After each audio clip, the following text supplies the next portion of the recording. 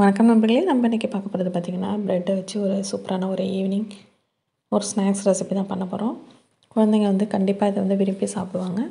ரொம்ப ஈஸியான முறையில் பண்ணிடலாம். வாங்க இப்போ எப்படி பண்ணுன்னு சொல்லி பார்த்துடலாம். இதுக்கு பார்த்திங்கன்னா ஒரு எட்டு ஸ்லைசஸ் வந்து ப்ரெட் பீசஸ் வந்து நான் எடுத்திருக்கேன்.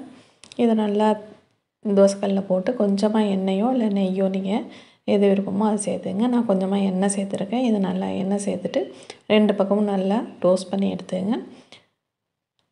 அடுத்து ஒரு பேனில் ஒரு நாலு ஸ்பூன் அளவுக்கு எண்ணெய் சேர்த்துட்டு இது கூட ஒரு பெரிய வெங்காயம் நறுக்கினது பச்சை மிளகா சின்ன சின்ன பீசஸாக நறுக்கினது அதையும் சேர்த்துட்டு ஒரு தக்காளி சேர்த்துங்க.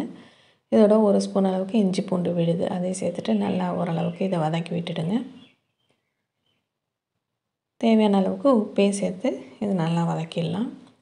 நம்ம டோஸ்ட் பண்ணி வச்சுருக்க ப்ரெட்டை வந்து சின்ன சின்ன ஸ்லைசஸாக போட்டு வச்சுருங்க இப்போ ஒரு கால் டீஸ்பூன் அளவு மிளகாத்தூள் கொஞ்சமாக வந்து சோயா சாஸ் சேர்க்குறேன். சோயா சாஸ் இல்லைன்னா பரவாயில்ல. நீங்கள் மிளகாத்தூள் மட்டுமே சேர்த்துட்டு கரம் மசாலா கொஞ்சம் சேர்த்துட்டு கொஞ்சமாக தண்ணி சேர்த்து ஒரு ரெண்டு நிமிஷம் கொதித்த பிறகு நம்ம டோஸ்ட் பண்ணி வச்சுருக்க ப்ரெட் ப்ரெட் ஸ்லைசஸை உள்ளே சேர்த்துட்டு நல்லா மிக்ஸ் பண்ணி விட்டுடுங்க.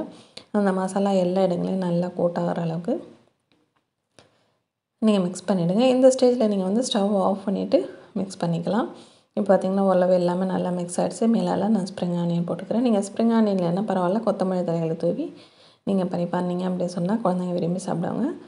வேற ஒரு இன்ட்ரெஸ்டிங்கான வீடியோட உங்களை மீண்டும் சந்திக்கிறேன். வணக்கம்.